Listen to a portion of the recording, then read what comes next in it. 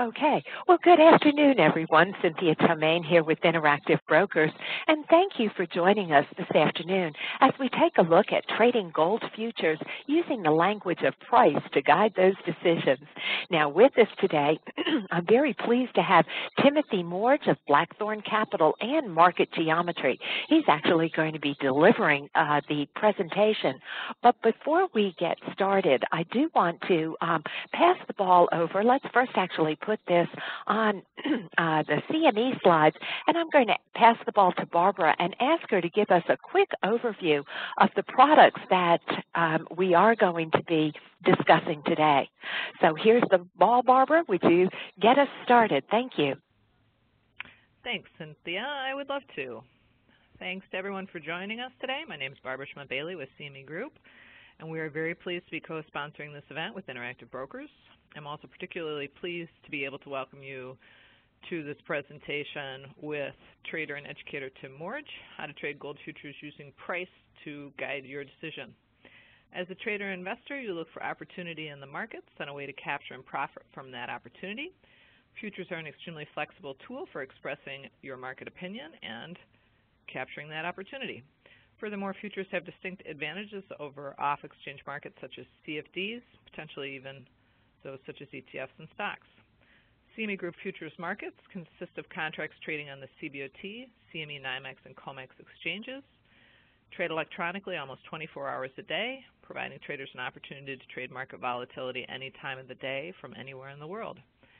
Futures prices are a result of supply and demand for the underlying commodity, for example, for gold, silver, crude oil, corn. On the other hand, mining stocks, petroleum companies, and the ETFs that are made up of these companies all have additional variables affecting their stock price and therefore distort the pure price of the underlying commodity. Futures prices are determined by the instantaneous equilibrium between supply and demand among competing buy and sell orders on the exchange at the time of the purchase or sale of the contract and are therefore widely viewed as the most accurate and transparent prices available for a commodity.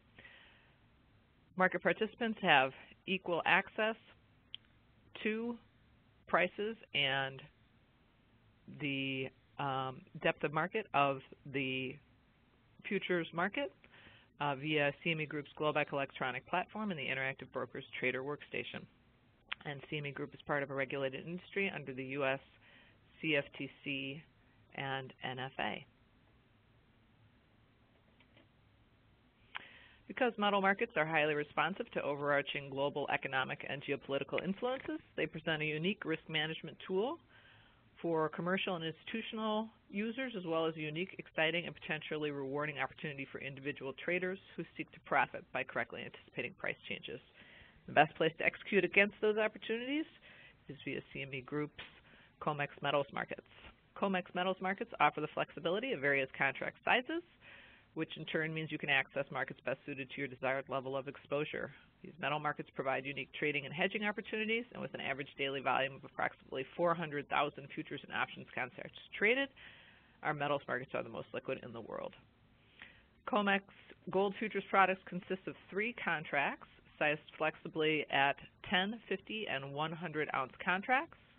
The 100 ounce contract, ticker symbol GC, is the best known, uh, most liquid contract that uh, we offer.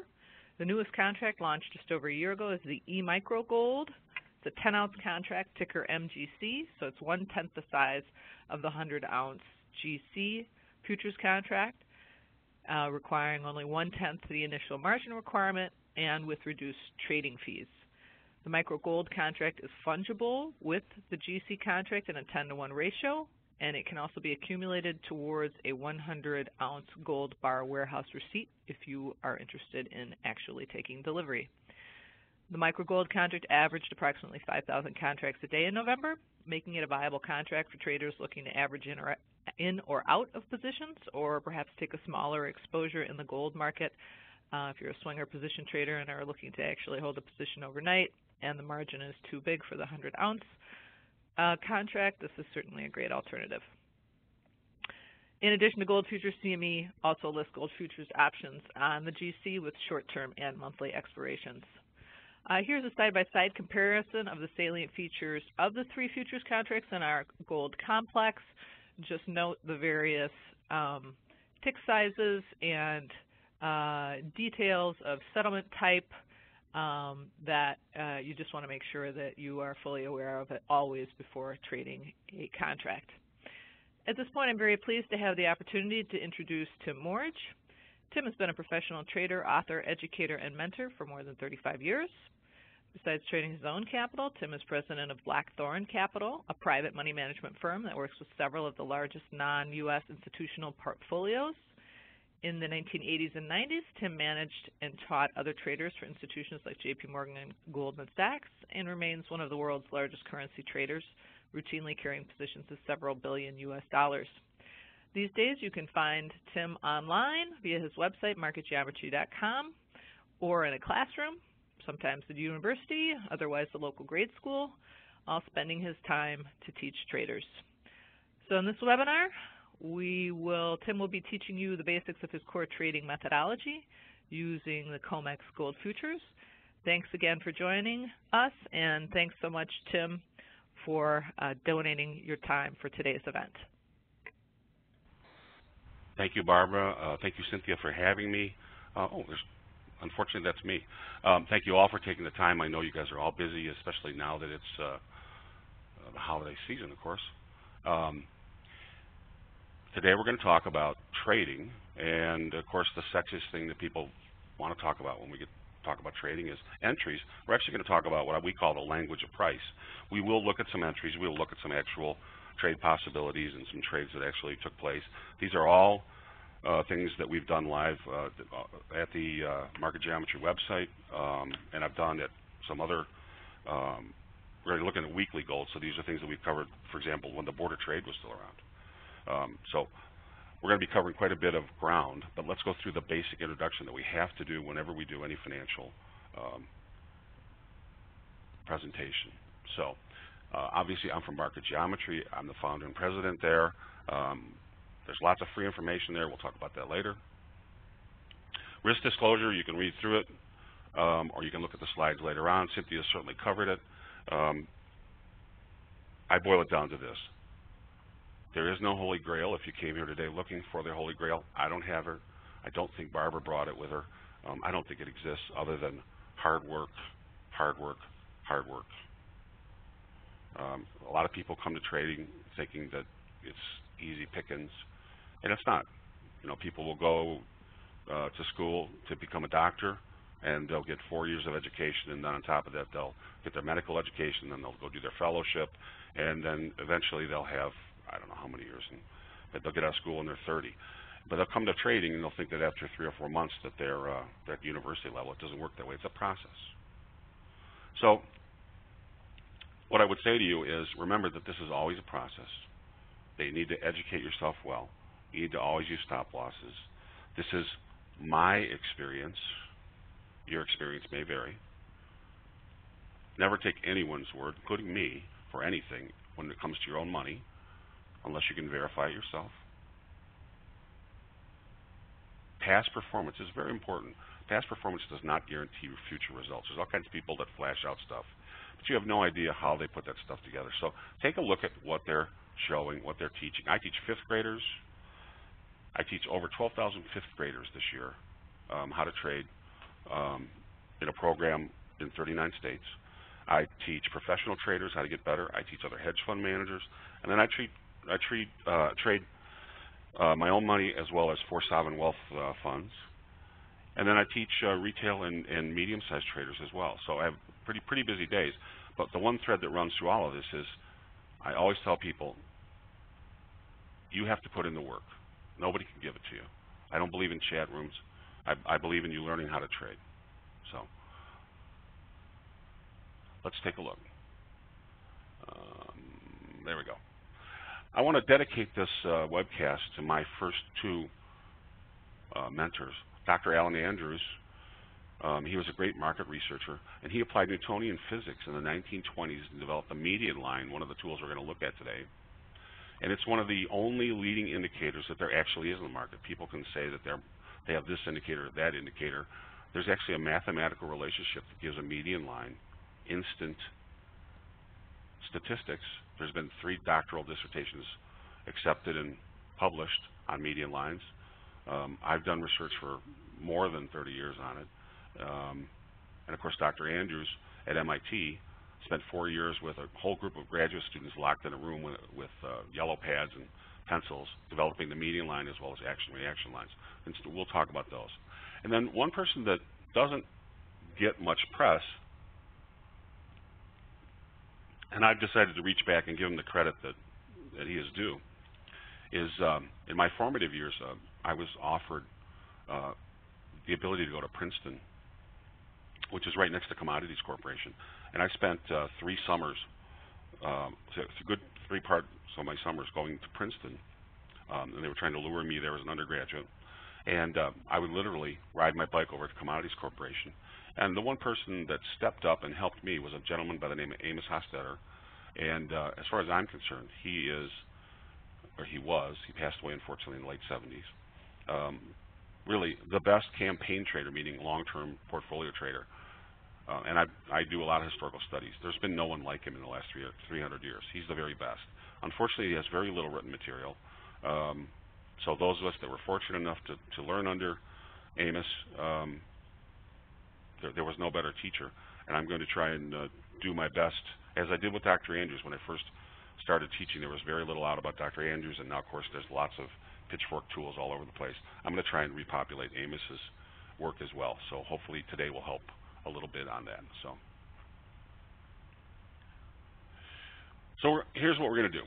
We're going to understand the language of price, and to do that, we're going to do a study of the weekly COMEX gold futures contract. Now, I know most of you probably do not trade weeklies. I trade dailies, weeklies, and monthlies, as well as intraday trade. But one reason you would look at weeklies is there are fewer pivots, there's less noise. It's a great place for you, a playground, if you will, or if you're if you're a coder, a sand lot, for you to go ahead and take a look at pivot formation, formation of patterns, take a look at whatever indicator or tool that you use. For example, let's say you use market profile. Uh, you might want to take a look at market profile on the weekly. Um, the lack of these huge these huge um, amounts of noise on the E-mini S&P, for example, using two-minute E-mini S&P makes it very difficult for you to practice. So I like to take a look sometimes uh, with groups at longer-term things, and I there's going to be some long-term trades that I take on this, and I often have trades that go two and three years, and I'm not suggesting that there are that many of you that do, but these same patterns, the same things that we're going to look at, work on any time frame. You'll see them in five-minute E-mini S&Ps or 1,300 tick uh, bond futures, uh, pick your poison. Anything that fluctuates, we'll see these on. So don't worry that it's on weekly gold and it doesn't pertain to you. It pertains to everybody, everything. So let's take a look. We always start with a blank chart. Now, Barbara says um, that the micro averages, oh, four to 5,000 contracts a day. And a lot of you are probably saying, well, that's pretty thin to me. Or if you put up the MCG contract and charted it, it doesn't look as pretty as this. Well, on the weekly it might, but certainly on the intraday it may not look as pretty as the GC contract. But that being said, there's nothing to keep you from charting the big contract. This is the GC contract, which is $1,000 per dollar. Okay? And then executing on the MCG which is one-tenth that. So if your portfolio or your the balance in your account doesn't allow you to trade, long-term trade the gold contract, the large gold contract, you could al always trade the MCG, but just chart it off the big contract. So if we look at this chart, it's a blank chart. I've got nothing on it. This is always how we start every day, whether it's a market geometry or when I get up in the morning at 6 o'clock and start to go through the markets that I'm looking at that day, even if I'm intraday trading. I start with a blank chart, absolutely nothing on it. I start over every single day. I recommend you do the same, and the reason why is, as you do some simple things, and let's just move through some simple things. Okay, here you can see, all I've done is I've drawn a line through the center of the action. Nothing special. Anybody can do that. I'm not trying to grab bottoms. I'm not trying to grab tops. I did put a fancy little arrow on the top, but it's a simple line of force. It's a vector if you know much about physics, but it's a line of force that shows you where price is headed. And, and in this case, if you just have a blank chart and you draw this simple line of force, it's pretty easy to say at this moment, gold's heading higher. Yes, it's had some pullbacks here and there, but overall, gold is trending higher. Simple. So that's the first thing I do. I draw in a simple line of force and take a look and see what we get. Then I drill down some more. What else can I draw? I erase the line of force. Okay, here's the same chart. Now I'm going to get a little more specific. Let me grab a tool here. And you'll note here in this area, price zoomed up or bubbled up, as my partner Shane would call it. And as we come to extremes, what does price tend to do? It tends to pull back.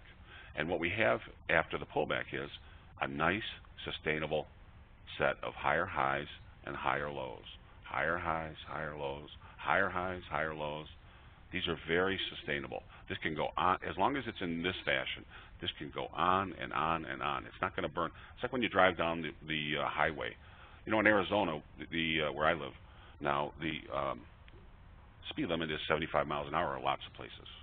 Now, if you drive at 75 miles an hour, which means you, most people are driving 90, um, you're going to burn gas very quickly. If you're driving 55, like you are down here, you're going to get much better gas mileage. But when price ignites, and let's call this area right here, this is going to be a new term, and hang on one second, let me just show you. Look at this thing go vertical. And this bar right here, and I'll mark that as well. Mark doing a lot of marking here. That bar right there, we're going to call that the point of ignition. Now, why do we call it the point of ignition? Well, we had these flat tops running all the way along and we were making higher highs and higher lows, higher highs, higher lows. Get my cursor back. There we go. Higher highs, higher lows, higher highs, higher lows. But we're leaving these flat tops. And this box right here encircles a bar where price just zoomed out. You might call this the point of ignition. It's certainly the beginning of the wave. But I certainly like this bar, this zoom bar that went through the tops. Anywhere in here is the point of ignition. And what happens? Then we go vertical. We start to burn gas very quickly. And so when we're burning energy that fast, and I think about the markets, Dr. Andrews taught me this.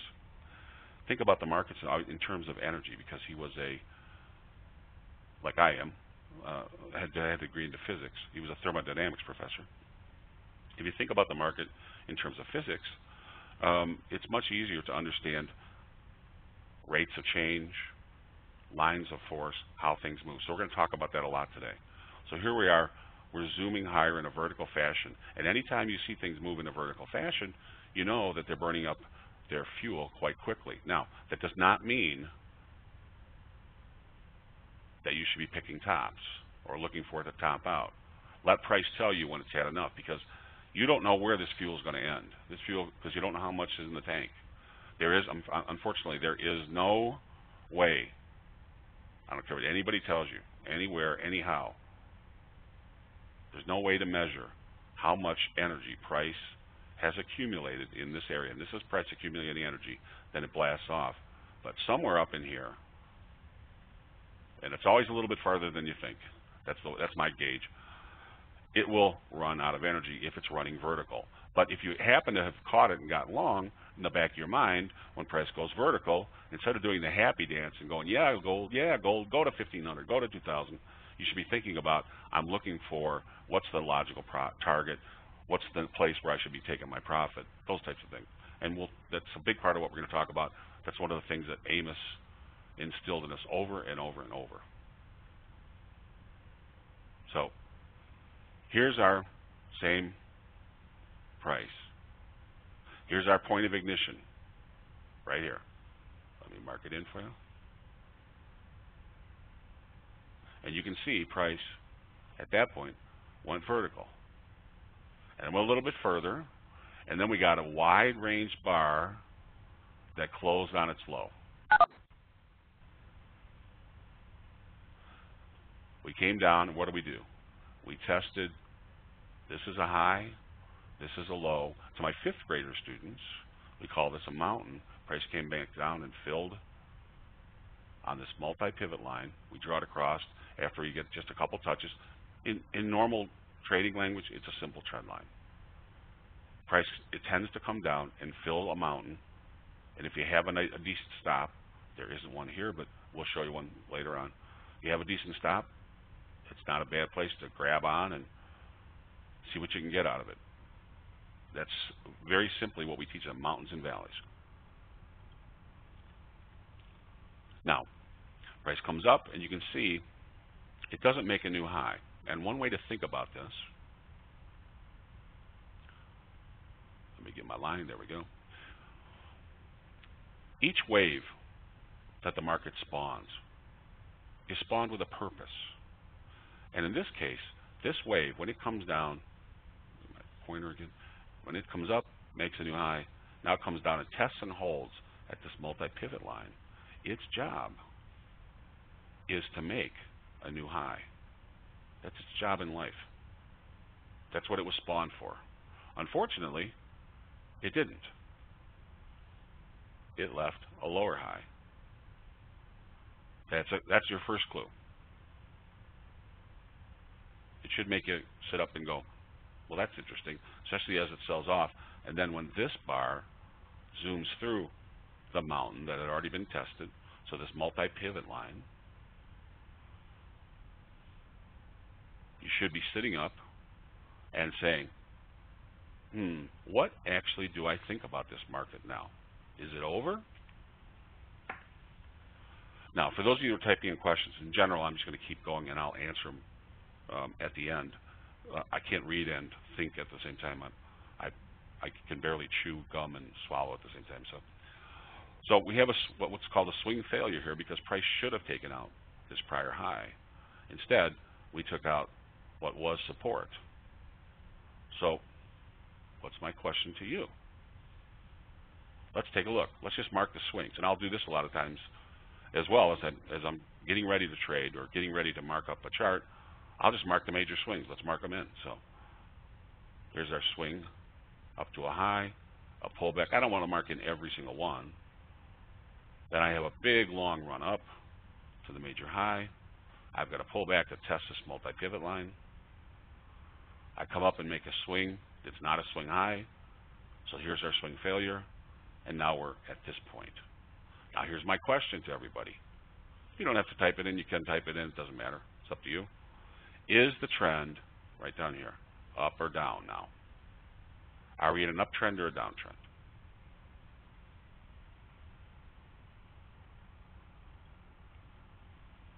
So I've got some ups, I've got some downs. Short term down, okay. Depends on the time frame. Okay, well we're trading weeklies. Here's the way to think about it. We're trading a, a weekly gold chart here, so the time frame is weekly. So in this time frame, we want to know, is it up or down? So let's just make it easier. Let's take all the noise out of here. I took all the bars out.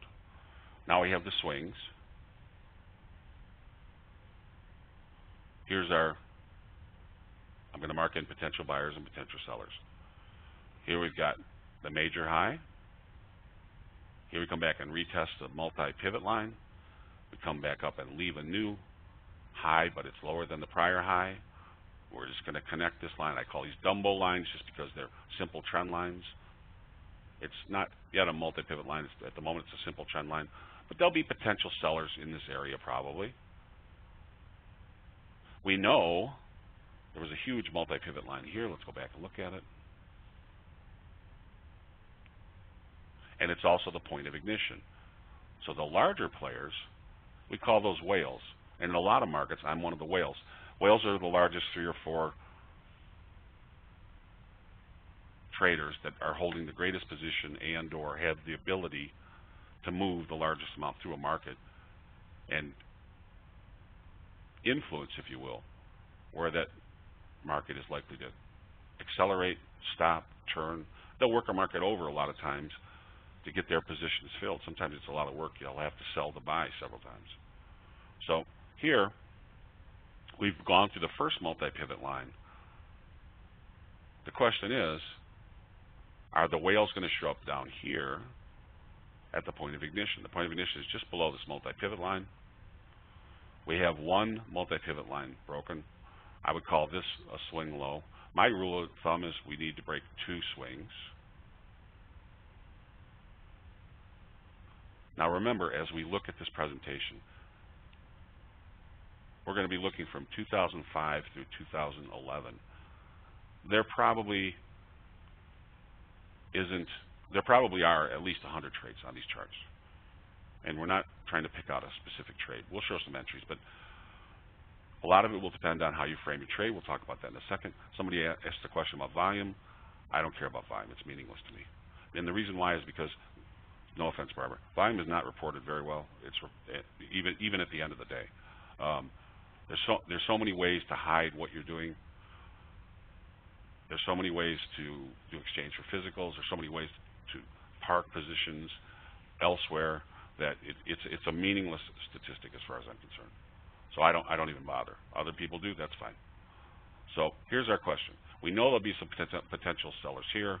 My suggestion to you is these, these will be more medium-sized and or retail sellers. There may be sellers again here at this multi-pivot line from the downside as we come back up. We're going to find out whether or not the whales or the big boys are sitting down around this area at this multi-pivot line and or right above the point of ignition. So let's put the bars back in and take off the swings, now that we talked about that. And by the way, let me go back. I would suggest on a weekly basis, until we take this area out, we're still in an uptrend. You're going to have to find out whether the whales are going to step up. If the whales pull, if we go through this area and the whales don't step up, we're in a downtrend. But until we get through this area, this is the last stand. This is the key area. So now let's take a look. And what I've done for you here is marked in what I think are key areas. Now if you look, we don't have many swings before we get into the vertical portion. So we're going to use our widest swing, which is right here.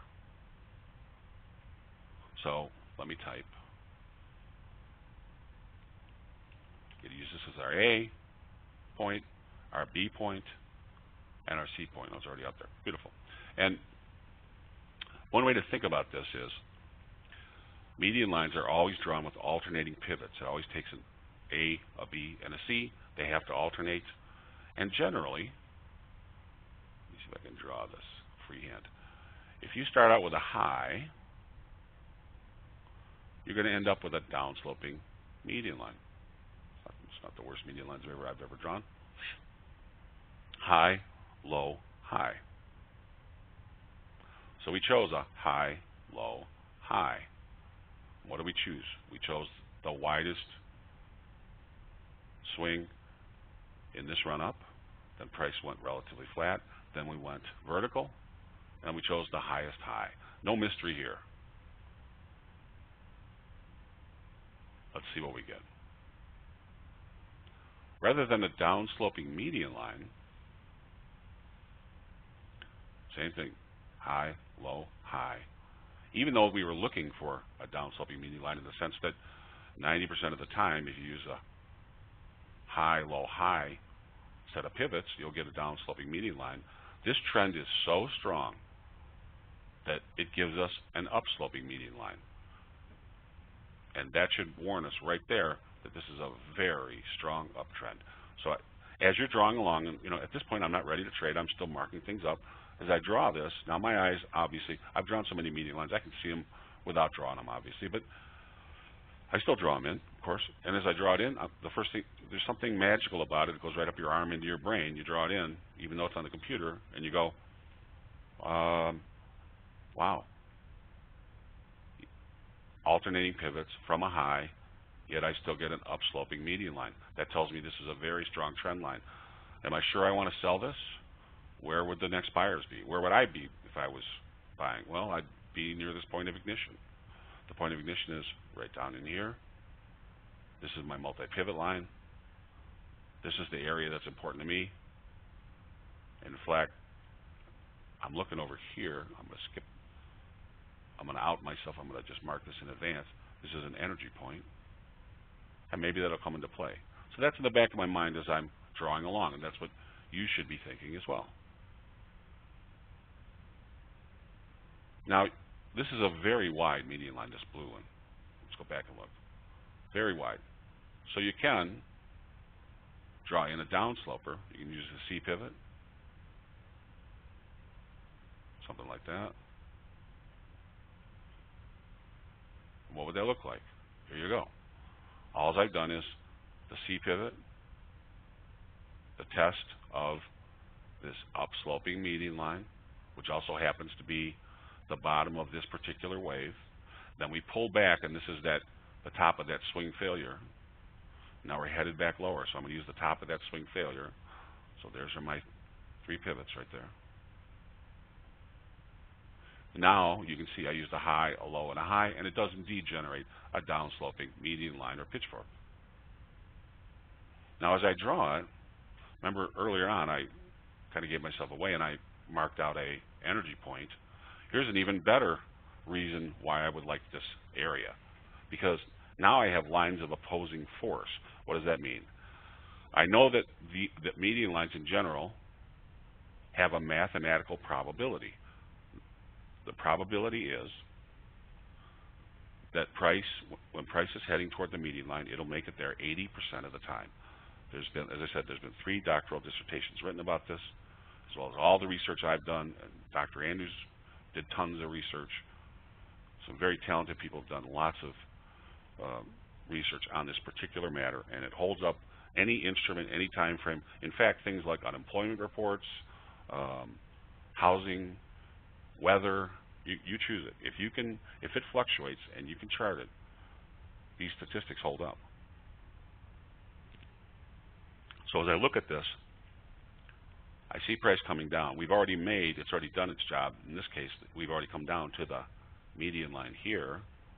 And we've already zoomed the blue median line. So if it's coming through the blue median line, and it zoomed it, with 80% probability, it's going to make the lower parallel of this blue median line. That's what statistics tell us.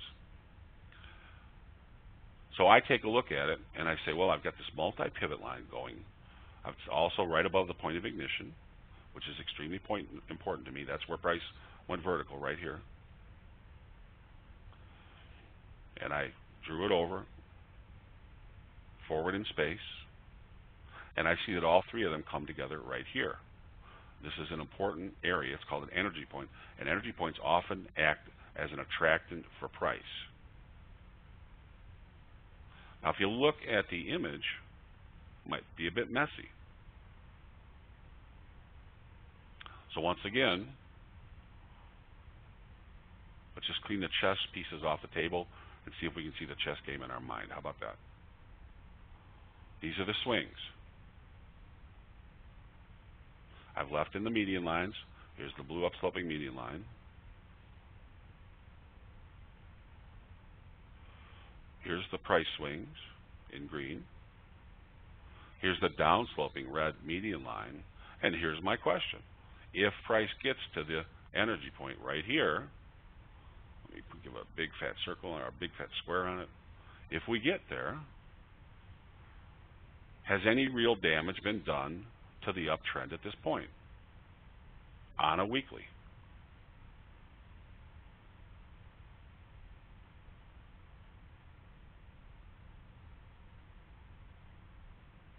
And we'll do a pivot count in a little bit. Some, somebody's asked me about a pivot count. the answer, to, for me at least, is, again, until we have price action below not only this lower blue parallel, but also this multi-pivot line, we haven't done any damage to the downside at all. And as a whale, a large trader in this market, this is where I would be putting my money if I wanted to get long, right here, especially because of this energy point. Now, I'm lucky.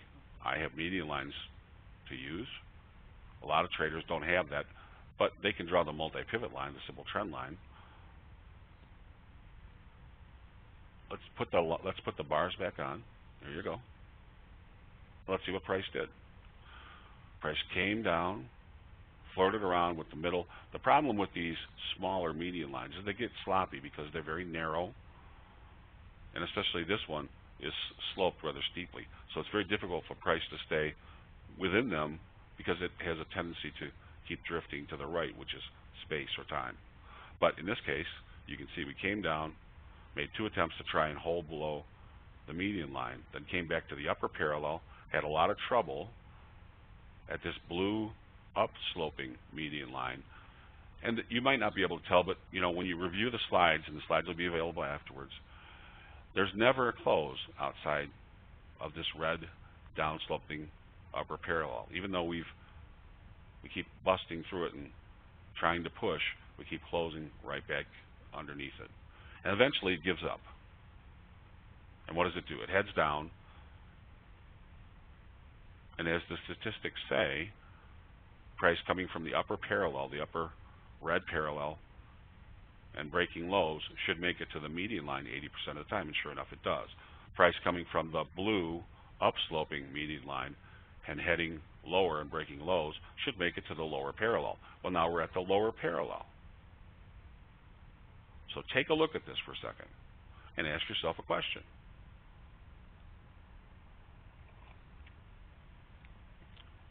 Here's my question. If price came back into this area, now it's traded up a little bit, would you be willing to get long with the stop underneath this small poke? That's what you need to be asking yourself. Okay?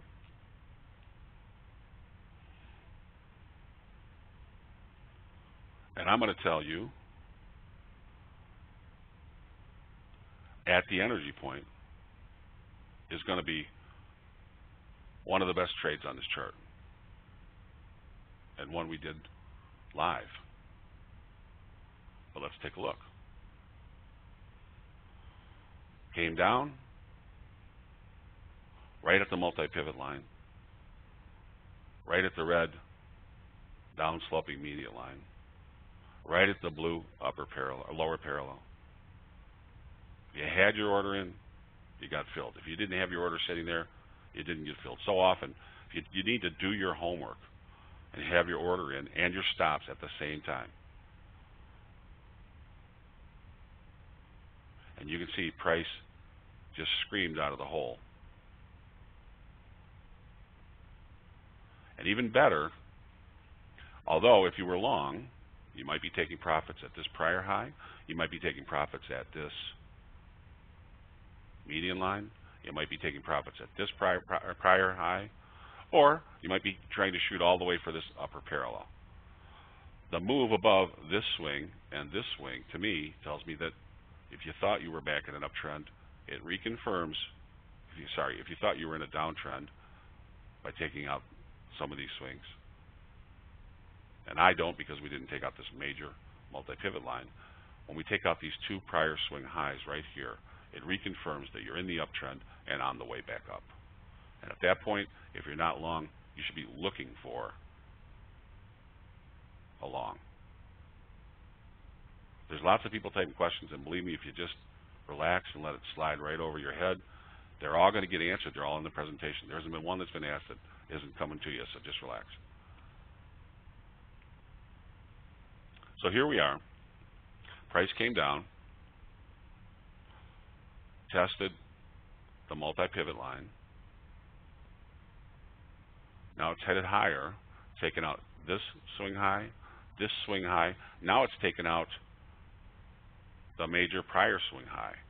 And take a look at this. Let me mark it with a box. Area here, and this area here. Let me get my cursor back so Cynthia's happy. There we go. This is a point of ignition. Take a look at the bars. We had accumulation, small range, and then a blast off. What do we have here? Accumulation, and then a blast off. And the blast off zoomed through the major prior swing high. So we're going to keep our eyes on that and think about it and wonder to ourselves, is this price igniting again? Because this entire area may have just been, if you think about it this way, price eating up space. Or, as some people would say, eating up time. I like to think of it as price and space. Price and time is equally correct. But price made its vertical move. Now it's got to restore its energy. In fact, it's got to come back down. In this sense, it's got to come back down and retest to make sure that there are buyers down here. And there are buyers down here. As I said, my fifth graders would be buying here with a stop underneath, never looking back. Where would they take their profit? Right here. And they trade like it's automatic to them, and it's magnificent to watch because they don't overthink their trades. They just frame their trades, and we'll talk about framing trades in just a moment. So Let's keep our eyes in this area and decide whether or not this is a point of ignition. Now, we have mature market structure. We've got a lot going on here, but we've got mature market structure. Let's see if we can pick out the market structure and draw a median line. What about using the point of ignition? Here's the low before price zoomed up.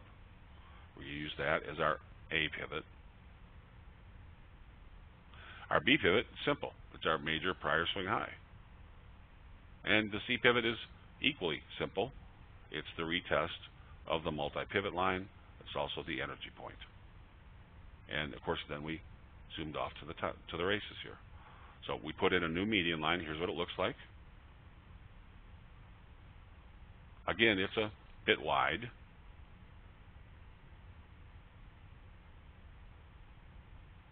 But there's things we can do. What do I like about it? I really like as I after I've drawn it, beautiful touch up here. And take a moment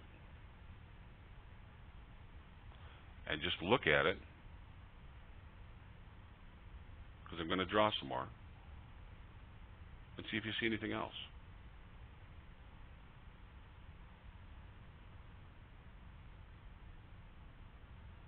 Let me go back and draw something.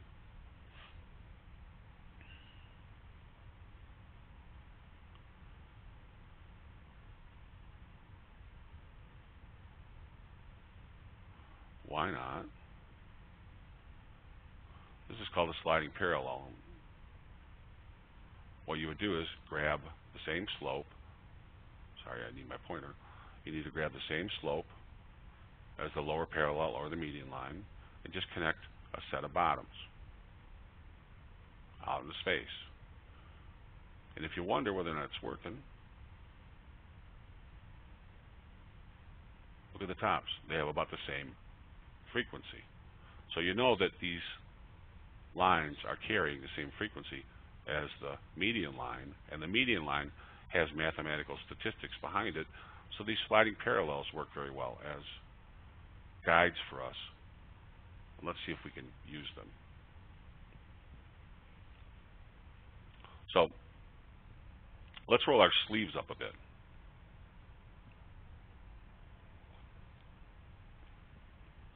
And by that I say, I'm saying, let's take a look at the individual bars. Sometimes we've already talked about using the point of ignition. And we already talked about whether this was a new point of ignition. And take a look at it. Sure looks like a new point of ignition to me now, because look what happened afterwards. It blasted off, blew all the highs out, ran up and touched and surpassed the median line, although it's come back down a little bit. But remember, the old point of ignition was a wonderful area of support. So I'm going to mark that out with a straight line and say, Shouldn't this be an area of support, or, are we headed down to the lower parallel? Well, the last time we were at the point of ignition, that was the end of the rope. But on top of that, let's take a look. I see in here little tiny pullbacks. A, B, C, then prices comes to a new high. Then we have ignition, and then A, B, C. Well,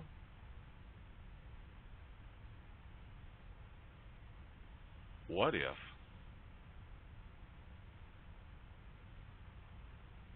we simply thought about that?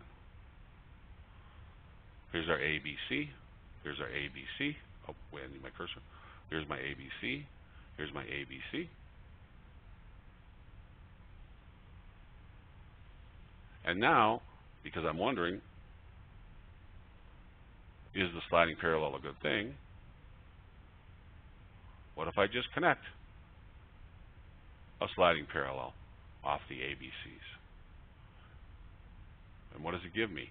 It gives me multiple touches. And for me, the ABCs of the situation, it gives me multiple touches. The ABCs, ABCs, if I connect them, look where they terminate, makes me feel even better about this line. But even if I had drawn this line earlier, which I did a few slides back off of this low, look at these entries right here. How about this as a, here's our, here's our test. So we come up, we draw in here. Now we let price come up and test the line.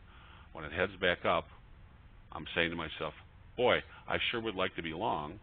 How about this as an entry if I'd drawn it in earlier? And I drew it in earlier for you with a stop below here. Not bad. Line's not straight, but you get the idea. That's my second favorite entry. That's my second favorite entry of the day. This would be, this makes me salivate as a trader, especially as a whale, a large position trader. So, and I'm going to, if I take this trade, I'd be holding this trade for years, literally, and in fact, am. This is a very nice trade. This is a good alternate entry, test and retest. My, this is my favorite entry.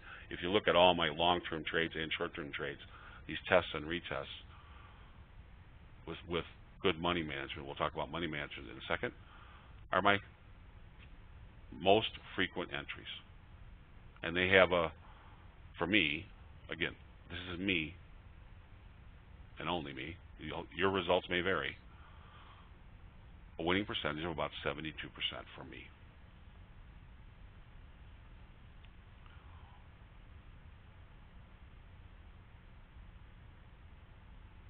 And here you can see I marked in the same little boxes. Here's my ABC and my ABC. Hopefully everybody can see the ABC pullback, the ABC pullback.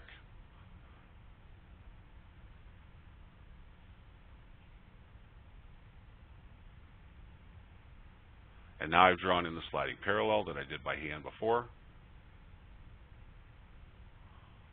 And of course, in everybody's mind, you should be saying, is this C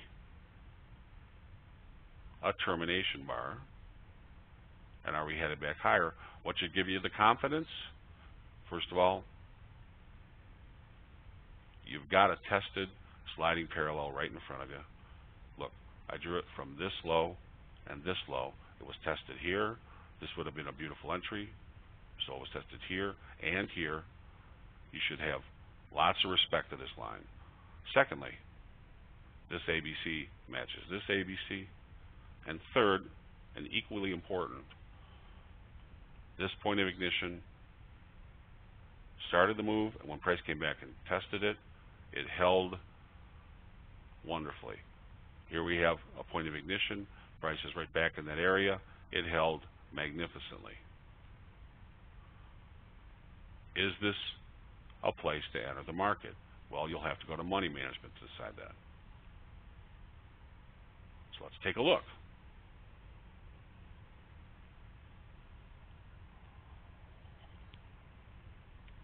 Again, in many ways, today is Amos Hostetter Day for me.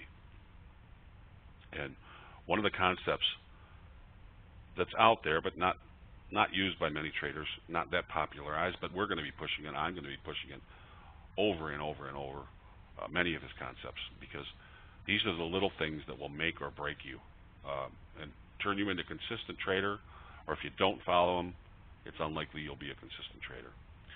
If you can get your risk-reward ratio, and we'll talk about how you get how you get that uh, statistic in a second, up above 3 to 1, it's magic.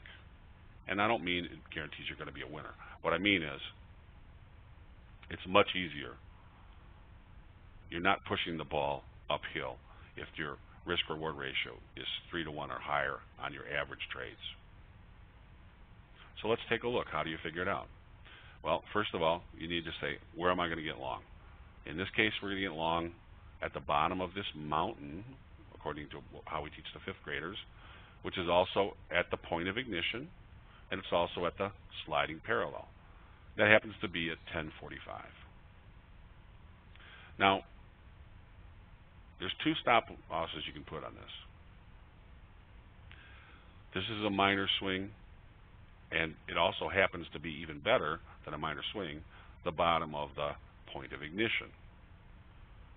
So it has some real credibility as far as I'm concerned because the point of ignition holds so well as you see over here.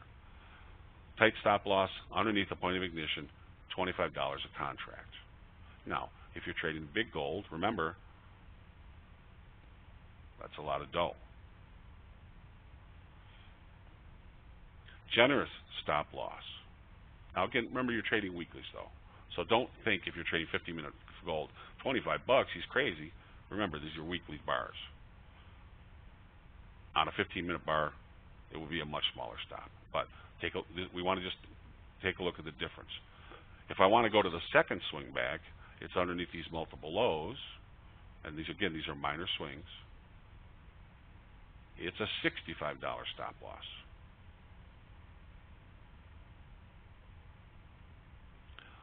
How do I figure my risk reward? Okay. I need to know and what's my initial profit target? Well, Dr. Alan Andrews tells me that 80% of the time, and the statistics verify this, we're going to go to the median line, which happens to be just about at the prior highs.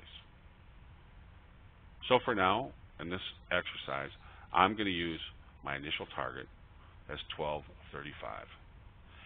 And yes, somebody just asked, don't you mean risk reward is, you know, you were quoting it backwards. Yeah, sorry, that's just the way it's quoted. You don't have to like it. You can quote it the other way if you want to, but risk reward is quoted this way in the trading community in general. If you wanted to quote it the other way, go ahead. That's your prerogative. If I risk $25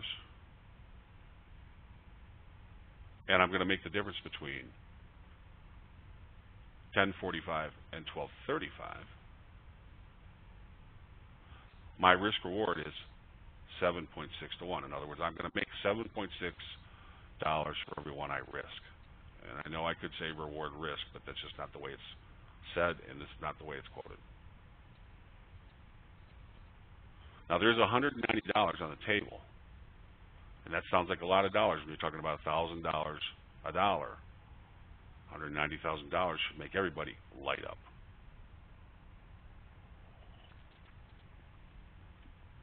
However, if we use the generous stop loss, there's two problems with it. First, it's huge. At $1,000 a dollar, it's $65,000. I don't care what account size you have, lots of money per contract. Worse, if we're going to make $190 and we're risking 65, our risk reward ratio is we're only going to make 2.9 for every one we risk. It's just not good enough to take this trade if that's your stop. And so many times, if that's the only stop you can find that's underneath structure, you can use a cash stop. But the problem with the cash stop is you never know where the orders are. There, there's going to be buy orders down here from whales and other people. There's going to be buy orders down here. But if you put a, a straight cash stop in, meaning not underneath structure, you have no idea. You're just guessing. And there's no way to tell where it's going to stop. If you say you're going to risk $10, it might work, and it might go 11 And so you get stopped out, and then it turns around. So I always try and put my stops underneath structure. And in this case, you can see both of these are under structure, but only one of them would work for me. 2.9 to 1 and risking this amount of money It's just not going to happen. It's just not going to happen. So I would take this trade, but I wouldn't even contemplate this trade. Now remember, we have to have a profit target to get there, and it has to be realistic. Let's take a look.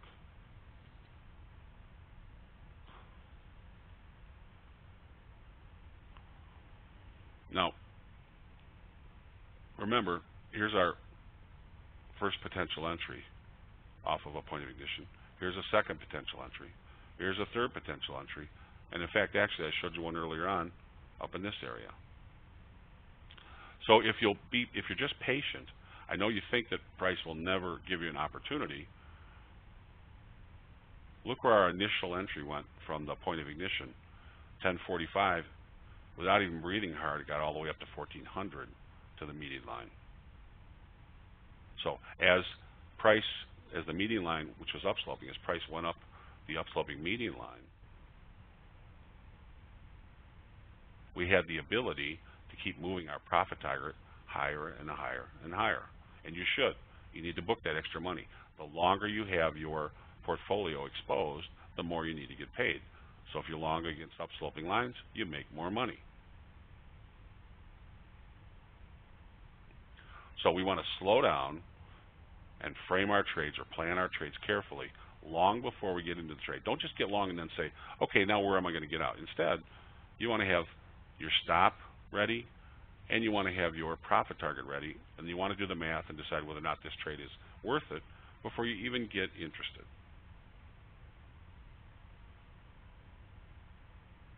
And there's another reason, because if you take a look, there's also multiple profit targets. We could have gotten long here. We could have gotten long here. We could have gotten long here at the point of ignition. We could have taken our profit at the top here. It's an energy coil. It's right at the median line. Or run stops underneath prior swings lows. Our next profit could be up here at the median line. Here's a new point of ignition. We could instead just put our profit, stop profit, underneath this prior swing low, which turns out to be another point of ignition. Then we have another profit target up here at the upper parallel. Or, here's a new terminology for you. I measured, I took the sliding parallel, and then I looked at the lower parallel of the median line, which is in blue, and I measured the distance between the two. I took that distance and I put it on top of the upper parallel. This is called undershoot down here. Undershoot gives you overshoot.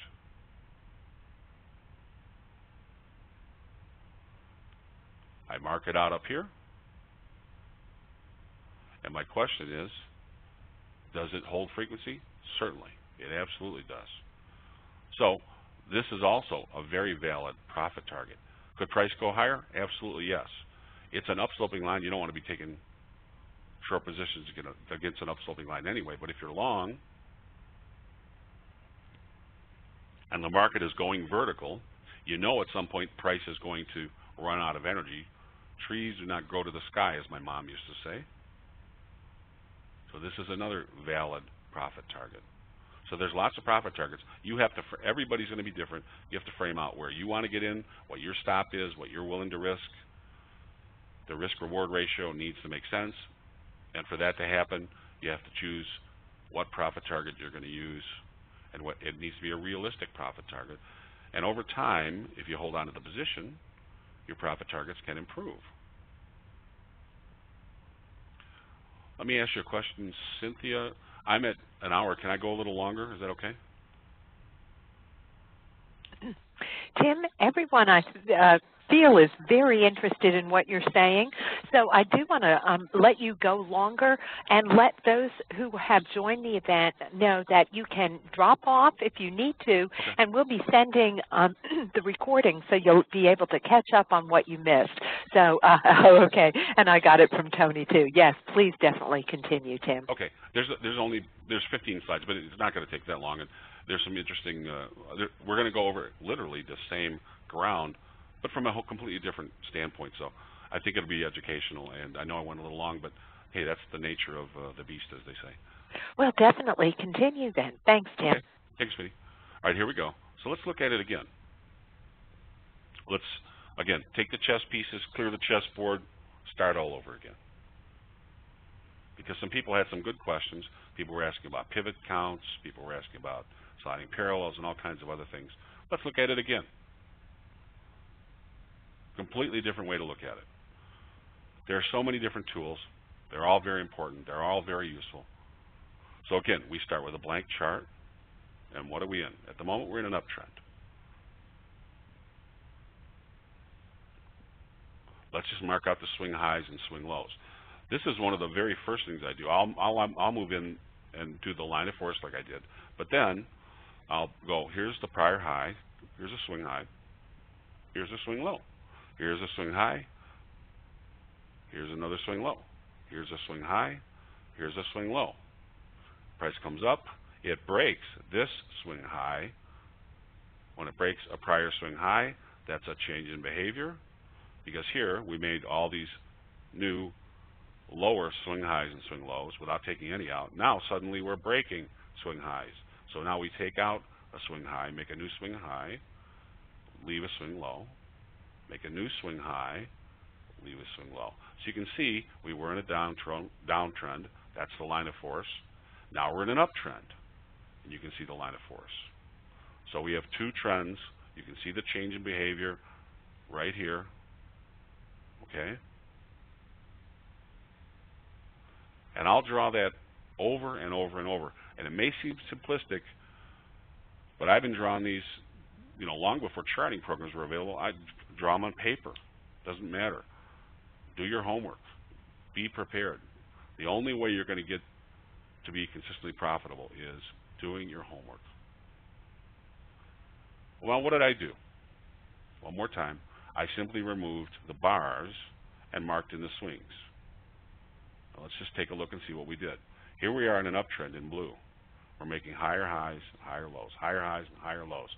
We leave a major swing high. We don't know that it's a major swing high yet. Price come down and tests a multi-pivot line or a balance line. I've got this in gray because it comes up, it makes a high, but it doesn't take out the prior high. And of course, when it breaks this multi-pivot line, which is also the bottom or this lower, this prior swing low, we're now in a downtrend. This is a change in behavior. Now we come up, we leave a new high, but it's again a one, two, three. This is the second lower high off the high. We break this low, we make a new low. We don't know that this is a major swing low, but of course it becomes a major swing low. We come up, we leave a high. I put this in gray because watch what happens. As we come down, we make a new low, but it's not a lower low than the major swing low. And then the next wave takes out a swing high. What does that mean? That's another change in behavior. So we were in an uptrend, we turned into a downtrend. Now we've confirmed an uptrend again by taking out this prior swing high. Now we come down, leave a higher low, little inside bar, and again, these are the inside minor swings. And much less important than these big fat swings. But price is doing its thing. It's an ABC, if you will. Now we head out, and when we take out this high, this is even further confirmation. And of course, this would be the point of ignition right here. Look at price expending its energy. Once it expends its energy, it has to have these inside minor swings to restore its energy. Once it's restored its energy, it makes another new high for the move. Minor pullback, another new high. So by taking the bars off, it's another way to clear the deck and take a look at it. And I appreciate all of you that are taking the time, um, you know, to stay longer. Now, we're just going to add some different signposts.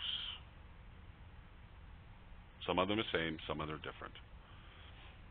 These are just some of the tools that I've accumulated and use over the years. First one, here's our, let, us start out by, here's our ABC pullback, see them? We had these in before, and I just marked them so that you can get your focus back and pay attention to the first part. Okay, now I know it how it connects to the first part of the presentation. Now, price comes up. Now let's do a pivot count. There was a gentleman by the name of Dr. Anderson who was the math professor, the head of the mathematics department at MIT when Dr. Andrews was in the thermodynamics department, and he was doing a study with uh, graduate students. And Dr. Anderson was also interested in the market, and he came up with what was called the loose count and used it as a trend test. And instead of no offense to any of you out that are, you know, Elliotticians and, uh, you know, Gann has a way of counting. Everybody has their own way of counting. Dr. Anderson's method was make it as loose as possible. You can count this four or five different ways. Doesn't matter as far as he's concerned.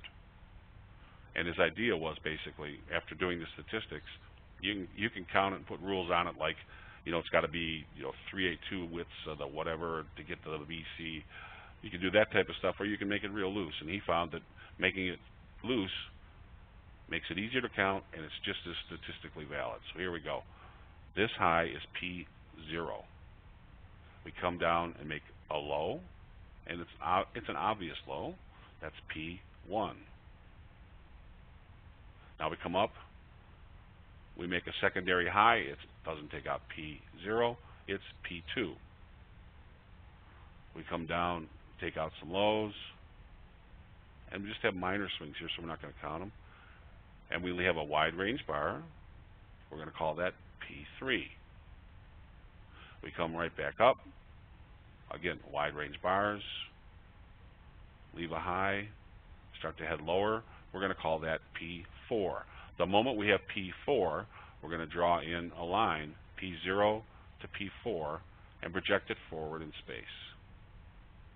And what Dr. Anderson says is, once you can draw P4, once you can count P4 and draw on the P0, P4 line, you have a trend test barrier.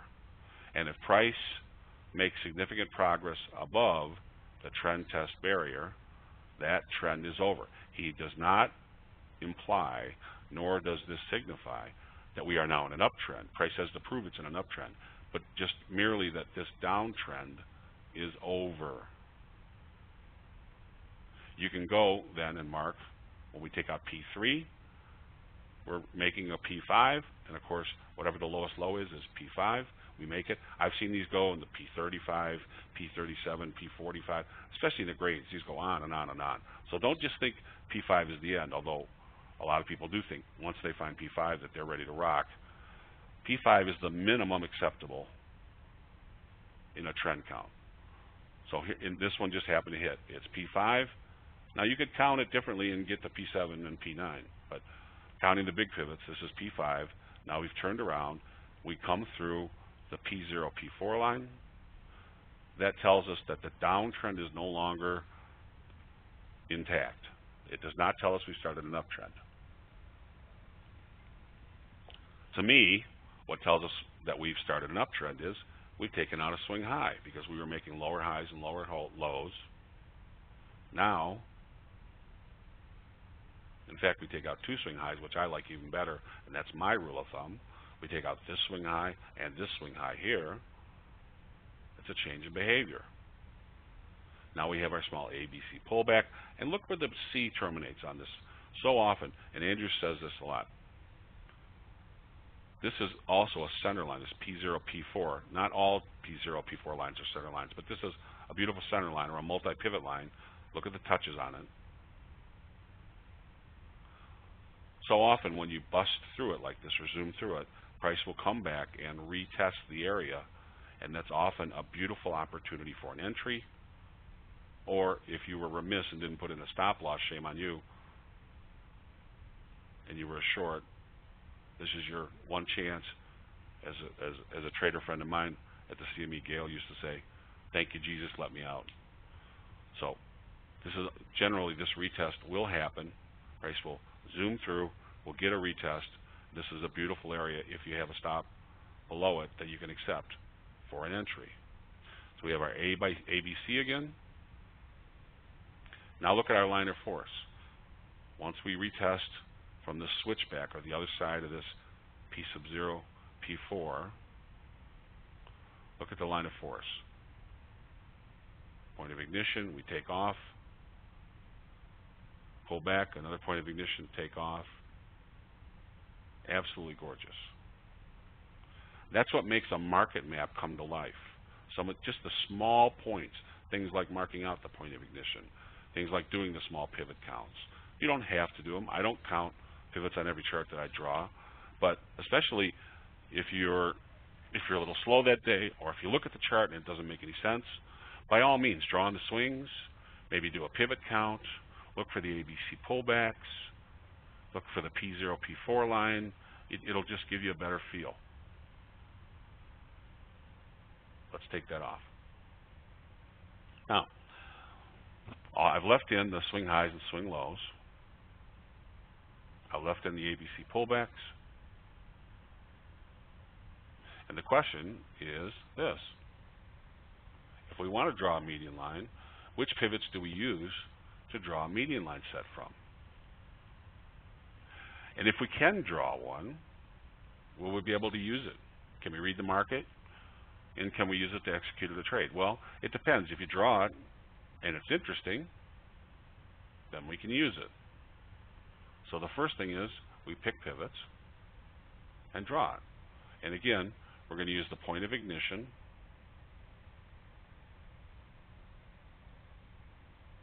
We're going to use a regional high, major high. And then we came right back. Again, this is the fifth grader trading. This is a mountain. Take a look at it. It looks just like a mountain. I, li I live right over here. If this is Granite Mountain in Prescott, Arizona. This is a mountain. Price comes down, tests the bottom of the mountain. Beautiful place to get long. Stop right under the point of ignition. Price takes off. And so you can see this median line. Here's our change in behavior, and it's also a test of the median line. Another test of the median line. This median line has lots going for it. There's lots of things to like about it.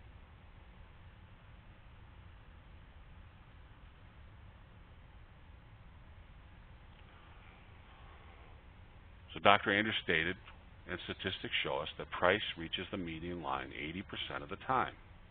I can't say that often enough. At market geometry, we call that Andrews 101. A price has met the median line twice, here and here, and it keeps stair-stepping higher within the median line set. But notice one interesting thing. Even though it's come to the median line twice, it's unable to test the lower parallel. That's a sign of strength. So you can't trade low enough to test this lower parallel, at least so far. But there's one puzzling thing that should be in the back of your mind, which is it also hasn't broken above and held above the median line. So am I worried as a trader? It's a valid question. Everybody's going to have a different answer. My answer is going to be, no, it hasn't broken it yet. However, every time it looks like price is about to turn, what happens? We stay in the uptrend. So I'm going to stick with this uptrend until it's no longer an uptrend. And I'm going to let the market tell me that the trend has changed. I'm not going to try and predict. I'm not going to waste my time. I'm not going to prognosticate. Instead, I'm, if, the, if the market's changed phase state, so to speak, or it's changed trend from upper to lower, we did that exercise a few slides earlier, I'll be able to see it. In this case, I still don't see any change. Now what do I draw? I draw on the sliding parallel. And remember, I like that the ABC is connected, but you can see I drew it off of, let me mark where I drew it off. This was my starting point. This was my next line. I drew it off of though this point and this point. I could have traded here. Stop's too big, by the way. But I like it to test. And you can see it test here. So I like the retest right here. I love this trade. If I wasn't long here, and I was, because of the point of ignition, this is called trading close to the bone because it's so early in the median line set. But the stop is small. It's right at the point of ignition. For a portfolio trader, it doesn't get any better than this. But if I'm an intraday trader especially, on these sliding parallels, if they've been tested like this, and here's my test. So I drew it here from this point and this point, projected it forward in space. Here's my test right here. This is the retest. This is the place to be on the intraday basis. Uh, if you find yourself looking for an area, if you can afford the stop. And then you'll have to do the risk reward calculations. What's your what's your logical profit target? Well, it's the median line or this prior high. Now here's another possible entry.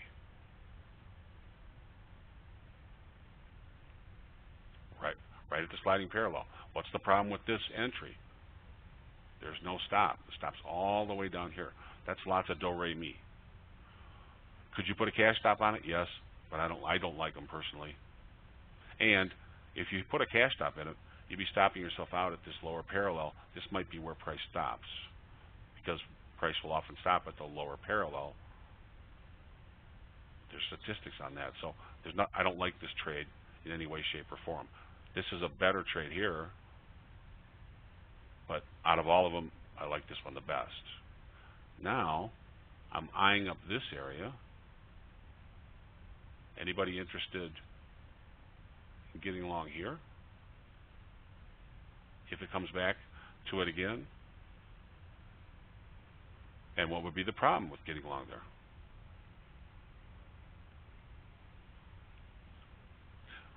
I'll answer it for you. I'd be interested in getting along there. Somebody says not all markets have such wonderful structure. Well, one reason we went to weeklies is because you see this type of structure so much more. So it's it's so it's so much more likely to show up on weeklies because there's a lot less noise. That's why we're looking at weeklies. But once you learn, you'll see these on the five minutes. You'll see these on 1300 bond ticks. You'll see them on range bars, etc. So um, a good place to practice and certainly a great place to do presentations are on dailies, weeklies, and monthlies because there's less noise.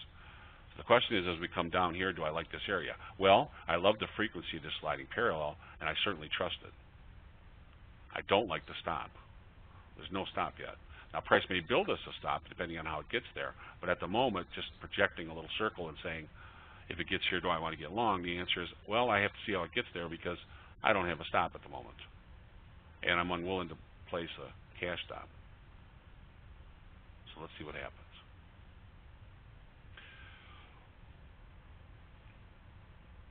Price is in an uptrend. We've got a median line set showing us the probable path of price. That's what median line sets do, good ones.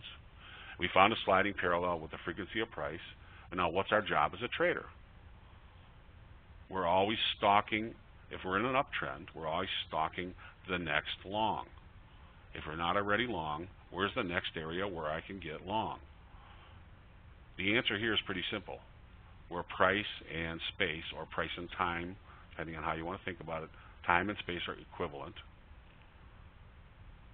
Where they meet. Where do they meet? Well, they meet, again, this is a, a line of balance. You can see price come up to the median line. We should see a pullback now. Where's a logical place for a pullback? Right to the sliding parallel. So we'll mark it out. I don't know if we'll use it, but we'll mark it out and say this is a logical place. I'd love to see price give me a chance to enter here, and hopefully there'll be a stop. At the moment there's not, but it depends on how it gets there. So we'll mark it out as traders. We're making a map. We just continue to evolve our map. Mark it out, let's see what we get.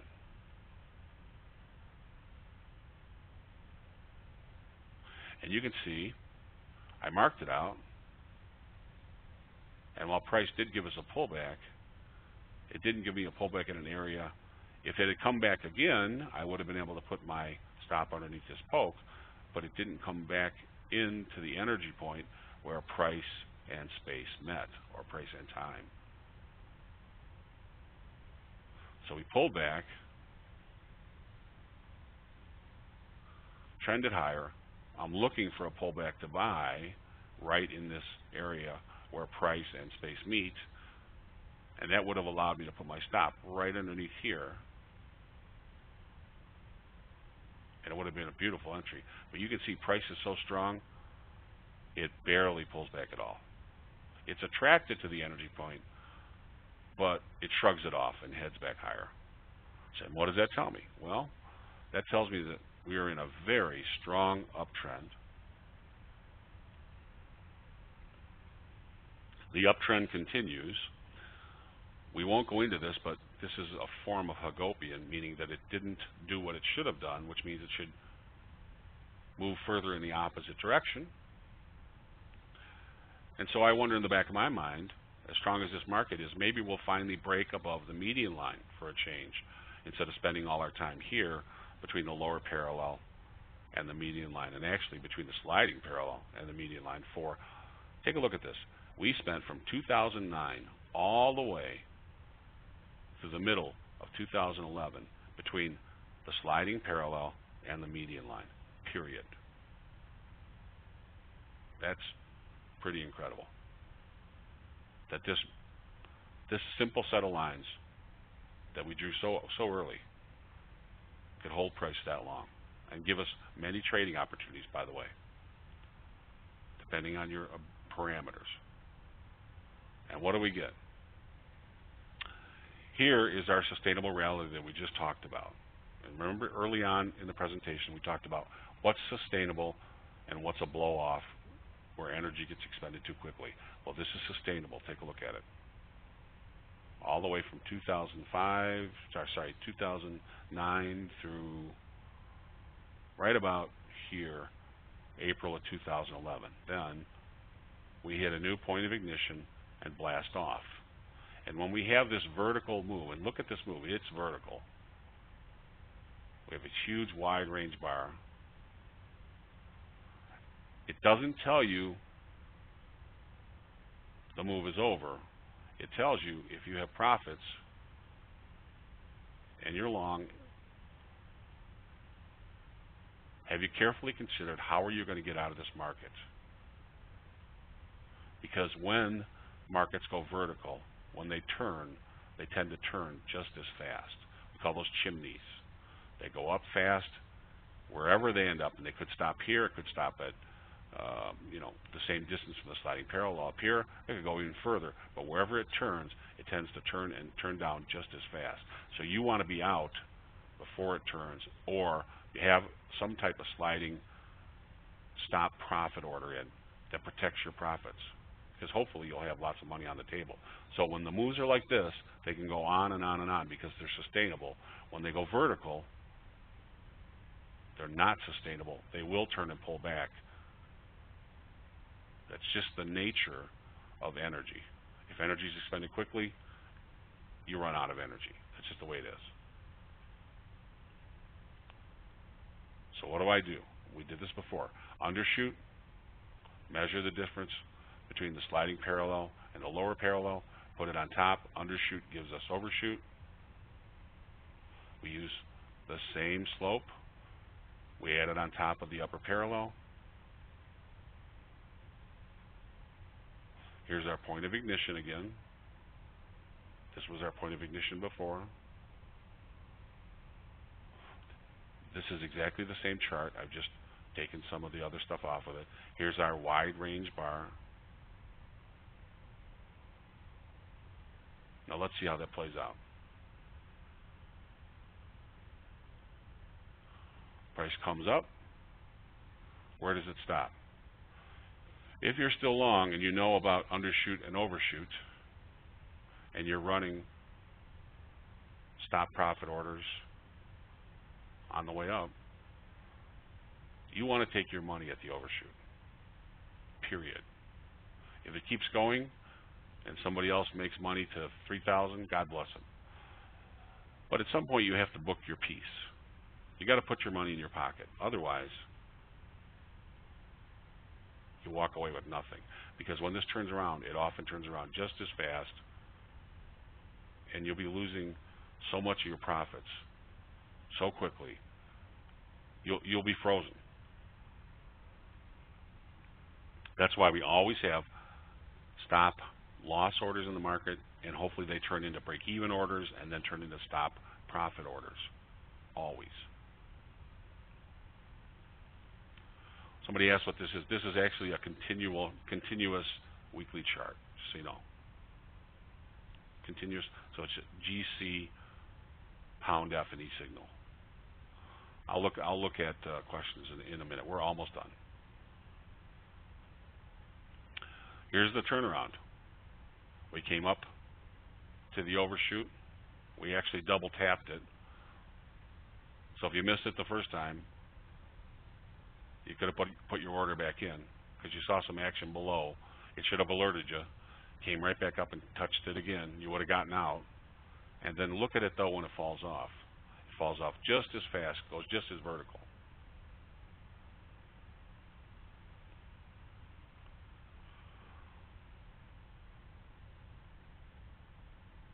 Now, here's the question for all of you.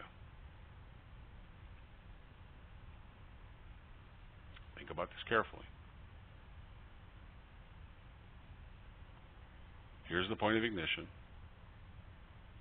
Here's our sliding parallel that's held, I don't know, one, two, three, four, five, six times perhaps. We're coming back down after testing the overshoot area. We're coming through the median line perhaps. We haven't yet, but we might. If we do, are you interested in a long position here? That's what you have to ask yourself as a trader.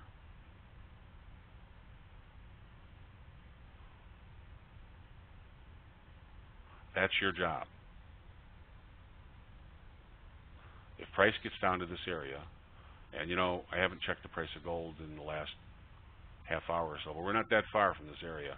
Do you want to get long? There will be questions. And the the answer is yes, you're interested, but it depends on what the structure looks like when it gets down there.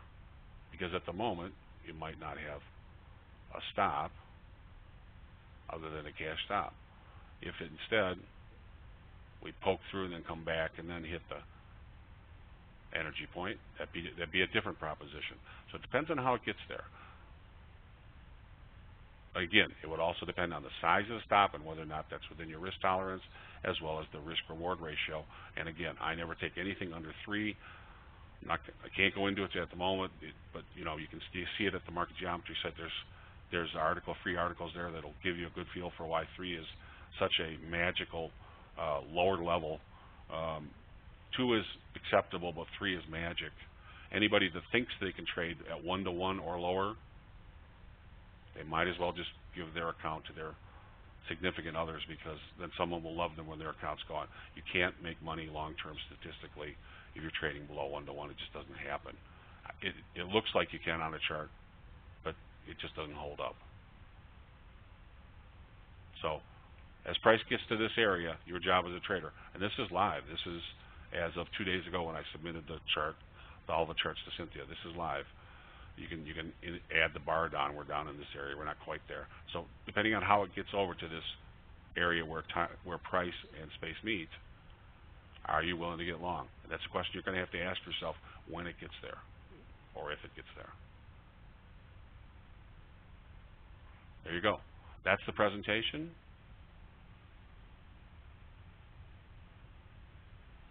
One of my friends from the uh, Coral Gable group this year, one, another student of Dr. Andrews, he says, absolutely, take the trade at the slide. I'm with you. If there's a stop, I'm there.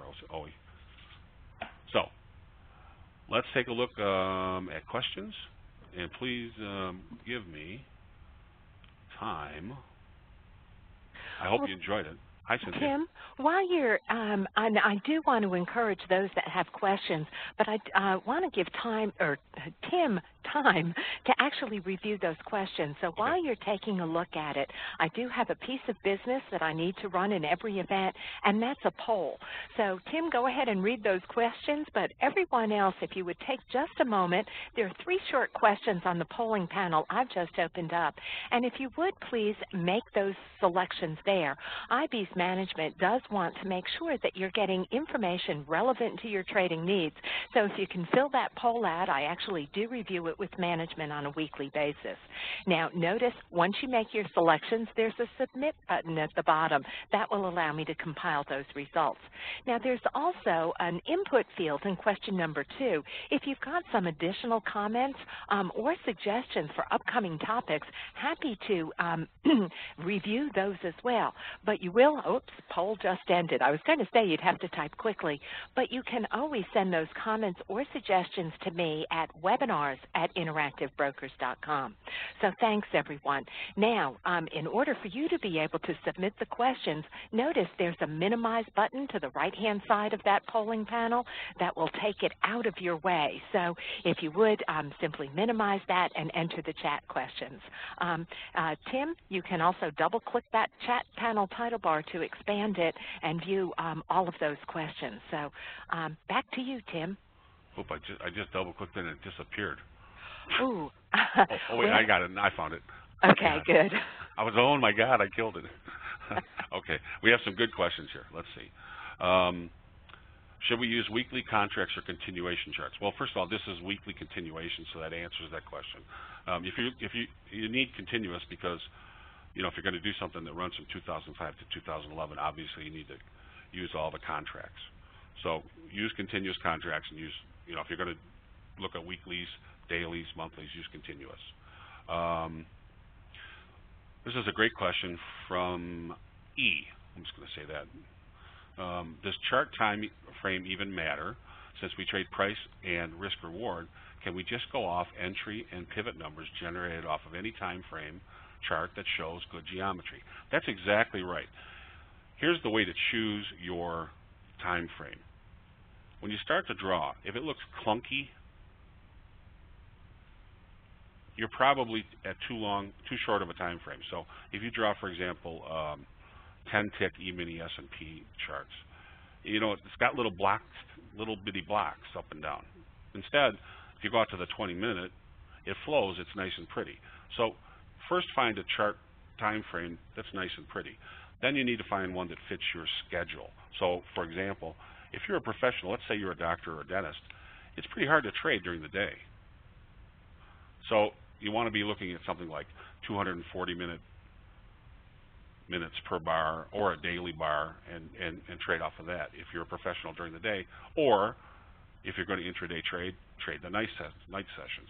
And there's lots of things. Obviously gold, we're talking about today, but you can trade currency, futures, there's all kinds of things that are extremely liquid after your daytime or before your daytime uh, should I say job, profession, whatever. Um, there's lots of things depending on where, no matter where you live in the world. The markets are 24 hours, and there's lots of things that trade and are, are liquid 24 hours. So you can day trade, um, even short-term time frames, a couple hours after dinner, a couple hours before you go in. I don't recommend, if let's say you're a doctor, God forbid, and you're operating on somebody, then you got an hour break don't go into the break room and trade. Give your patients a break, but you, you know, wait till wait till you can pay full attention. But there's plenty of time before and after what you're doing. So that's a that's a good point. Um, please go over. Peter says, "Hi, Peter. I've, how you doing? Uh, please go over why we don't do shorts at the top slider." Well, the biggest problem with that is there's no stop. Because when we were taking a look at that, if, now if you could draw a down-sloping median line that then uh, has been tested, then been touched.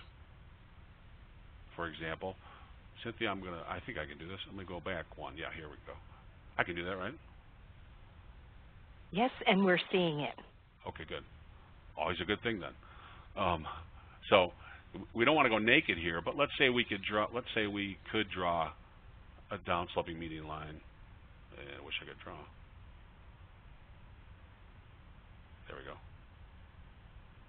If I could draw a downsloping median line, well, okay, I'm doing it with arrows, but you get the idea. Um, and it was retesting, you know, that might be one thing. But just going short, naked short up here, you know, we're in outer space. There's no stop. It's a cash stop. Is it going to stop there? Well, why not sell here at the median at the upper parallel? You would have got blown out. So you have to be very careful about choosing a top. So it's better to find a downsloping median line, even if your trade is down here. Oh, let me get my cursor, darn it. I'm sorry, Cynthia. Even if your trade is down here instead of up here, at least you'll have a lot more information about the market. You'll be able to calcul calculate your risk-reward ratio. You'll know whether or not the stop is acceptable, and you won't be guessing at the top versus selling at this area and getting stopped out just to have price stop where it's supposed to stop. So it's very difficult, even though, they, uh, yes, this is picture, picture perfect, I wouldn't encourage you to lean on these because a lot of times they'll poke through and then head lower. But, you know, this is, of course, unfortunately picture perfect. And I don't I, I, I say unfortunately because I don't want to encourage bad habits in anybody. I want you to make money. So picking tops and picking bottoms. And Barbara and I, Cynthia, you're on the exchanges as well. You know, we see people that pick tops and pick bottoms, and generally um, they're on their way out. It's a bad thing. And you always feel bad when guys blow out. So um, let's see. Um, I'm not going to mention the trader. I do. This is Stuart. This, this, this Stuart, but um, because see, I don't want to comment on anybody else. But yes, I know him. Um, sell everything and buy gold prior to the 1979 move. Okay. And I, by the way, I traded during the Hunt brother move and made lots and lots of money. Um, but I was lucky. I got a phone call from somebody that got a margin call um, and was able to get out of my silver position right before it became completely illiquid. So that taught me a whole lot about the value of Amos's. Um, there's a famous statement that Amos Hostetter made that you may or may not have heard, which is, take the cheese, just let me out of the trap. In other words, you can have the money I've got on the table, just give me the rest of my balance back. And the, what happens in markets that become completely illiquid like that, um, when the Hunt, bro Hunt brothers tried to corner the market, is at the end, you couldn't even get out of your position. And so uh, that's that's one of my favorite expressions. So um, yes, the markets moved exactly the same way back then as they move now. They look, if you look at a daily, if you go back and look at daily gold or the daily Dow or daily stocks back in those periods or back in the 20s, remember Dr. Andrews invented this stuff in 1920s. It looks exactly the same. And nowadays we trade on real-time data. It looks the same in five minutes as it does on 240s, as it does on 15 tick charts, or it doesn't matter. Anything that fluctuates any time frame. Uh, let's see. Always good to see somebody else here from the Coral Gables group. There's only uh, nine of us left now uh, that studied under Dr. Andrews that were in his original Coral Gables group. Um, I'm lucky I was a little boy, so to speak, and um, so you know I, I we're watching the numbers dwindle, and I, I, I thank God every every day that I wake up and see the sun, so to speak, because I'm at the point where I do see some of my friends disappearing. So. Let's see. Would you recommend to people like me that cannot trade for a living due to the lack of money, but have a nice track record, maybe you can forward to some company that hires traders? I've been doing this since 16, I'm not 20, and no luck. Well, the problem with that is there's something going on right now called a liquidity crisis. And I know several people that hire proprietary traders, but they haven't been hiring prop traders since 2008, and they're still not. Um, I got one gentleman who was an assistant of mine a job with a another, uh, you know, I was at Commodities Corporation for a long time, and I got him a job uh, from somebody that was also from Commodities Corporation that has a hedge fund at the moment. But I'll tell you, it was a lot of work to even get him in the door, even though he had a nice track record. It's very difficult right now, other than trading your own money. Um, I, I would suggest, you know, as the, as banks start to lend more, you'll see more prop rooms because there's lots of money out there. It's just that people are being tight with the money. So at the moment, that's a very, it's a very difficult place to be in. Um, and I don't have any suggestions other than just keep monitoring the situation, keep uh, trading small, uh, keep improving your track record. You'll need at least 18 months of live track record to even walk in the door, and uh, it has to be good. Let's see. Nick says, uh, do we buy at the market uh, at the price level or use a stop buy? Well, I generally use limit buys and limit sells. And then uh, for exits, I just use limit orders uh, to get out as well. Um, if you're worried, you can use market if touched. Most brokers support that. Um, if they don't, then you're just going to have to monitor it and uh, put your limit order in. If your limit order gets hit and you don't get filled entirely, you can go to the markets. That's a stylistic thing. It depends on your ability to execute. Um, let's see. Th thank you for the wish for, for my kids. I'll, I'll, I'll see you again. We'll see you soon. Could I do a live analysis of gold? Well, this is for weeklies. This was this was through two days ago, Charlie. That's about as live as it gets. When you see the market frequency changes, that if price accelerates inside the original upward sloping Andrews pitchfork, will you consider another pitchfork for trading? Sure. I'll, and you saw me draw some smaller ones inside earlier. So if you if especially if you have a wider pitchfork and price starts to accelerate, drawing a smaller one is, is always a good idea, absolutely. But make sure it's tested before you draw it. And remember, the smaller it is and the steeper it is, the more likely price is going to trade to the right out in space and trade out of it. So you have to be careful using it, okay? Um, do I ever use hourly bar charts for analysis to base trades on? Of course. Do you ever use shorter terms, less than an hour? Sure. For example, in, in uh, currencies, I'll use uh, uh, 240s for my big time frame because that's what most hedge fund guys use, including me. What, why, why is that? The 240 minutes is New York morning, 240 minutes is New York afternoon, then there's 240 minutes for Japanese morning, 240 minutes for Japanese afternoon, 240 minutes for London, 240 minutes for London afternoon, etc. So it's half a day. Then the inside one is it used to be 60 minutes. That used to be the American standard. But now that Europeans are more active, they like 20 minutes. So it's 20 minutes and 240s are the two that are most used. But I, I, will go to 60s. I have no problem with 60s. I use 20s. Um, sometimes I use 480s as well as 240s, dailies, weeklies. Yes, you can have a hug. I, anyone here would like a hug, you got one. So we're at 1561 low for the day and uh, at 1582 and accelerate. Well, okay. I, I want to see what it does when it gets down to the when it gets down. I I, I think we're going to head down and I want to see it down in this area, and I, I hope it'll poke through, come back down, and give me a retest right in the energy point. That's what I'd like to see. Does the market give it to me? No, not all the time. Didn't give it to me here. I don't need a trade, and that's the way you should think about it you can't tell the market what to do. The market will do what it's going to do. So at this point, um, I don't have anything to do in gold unless I'm long. Um, do I always look for those ABC pattern structures as part of your analysis? Oh, Keith, that was um, that was just a freebie that I threw in as I was drawing as I was drawing the sliding parallel.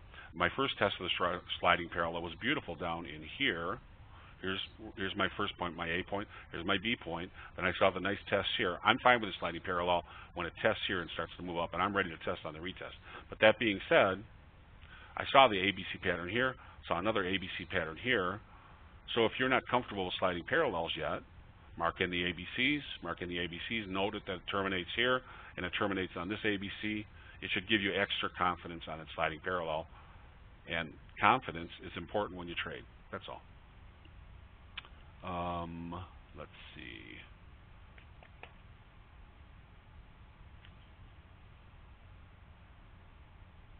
Do I always look for a wide range bar before entering a trade? No, not particularly, but one thing I did do, cheers Keith, uh, one thing I one thing I do one thing it does do for me, a wide range bar, it makes me sit up and pay attention. I'm looking for an event. I'm looking for something that says, hey Tim, pay attention. Because, you know, over a trading day, if you're watching the market for hours, or if you're like me, you know, I have a portfolio trade on for myself and my four investors, and I've done two or three hours of analysis beforehand. Then I do a, a, a, a live session in market geometry for a couple hours midday. Uh, then I, oh, what am I going to do now this afternoon? Well, this afternoon, let me trade for a couple hours. Okay, well, I'm looking at the market. I'm a little bit tired from the midday session, a little bit tired from trading earlier on in the day.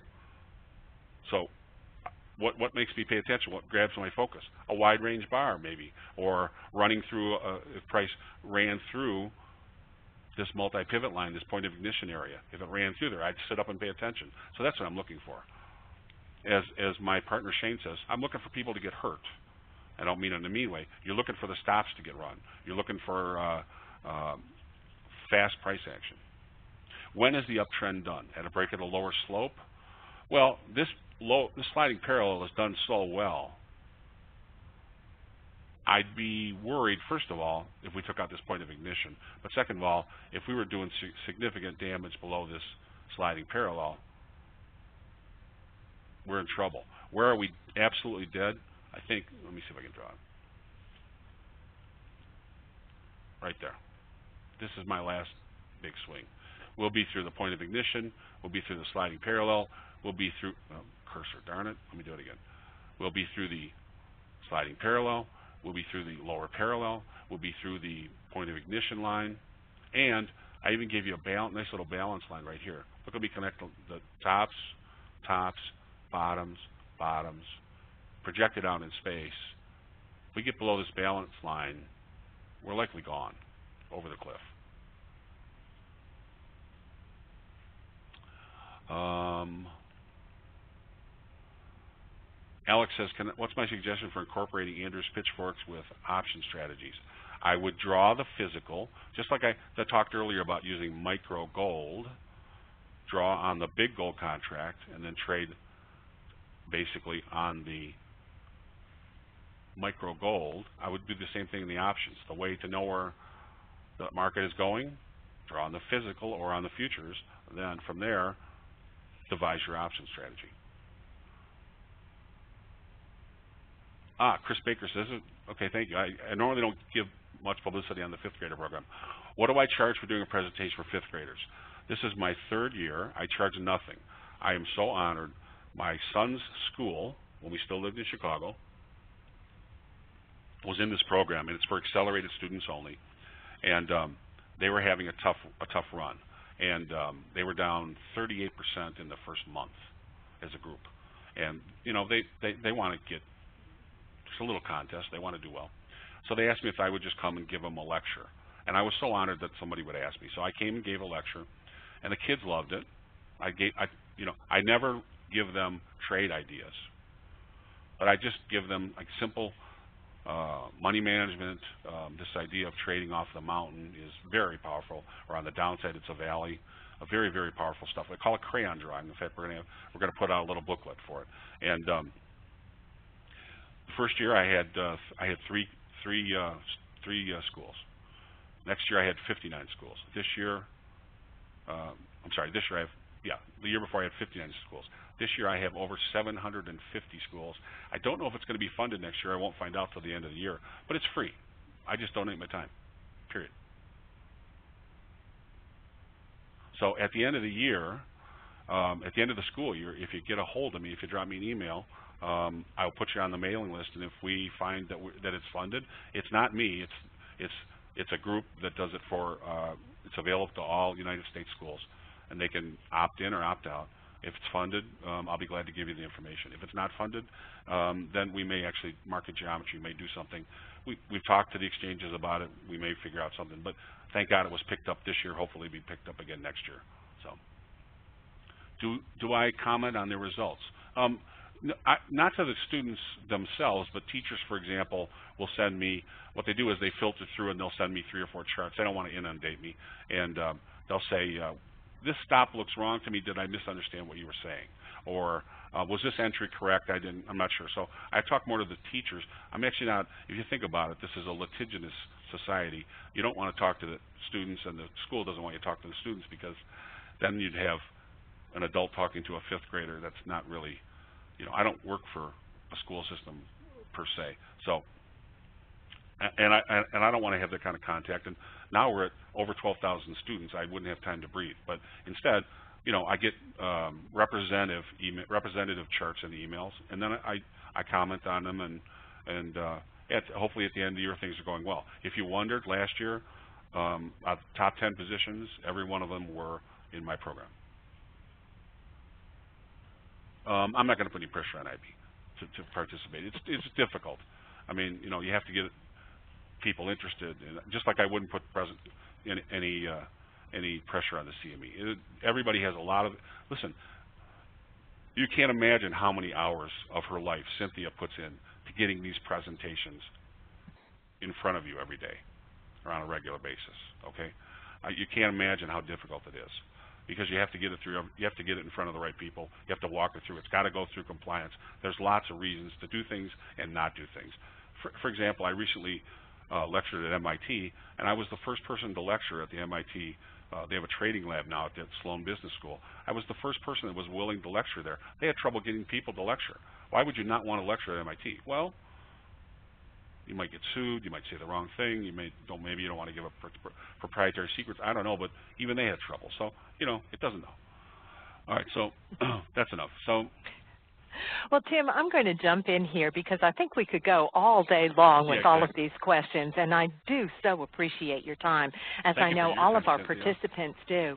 But what I'd also like to do is announce now, because we've been talking with Tim over the last month, and we're looking forward to having Tim come back for a regular monthly webinar. So, um, Yay! yes, and it Thank will darling. be presented on the second Thursday of each month. So we're even narrowing it down.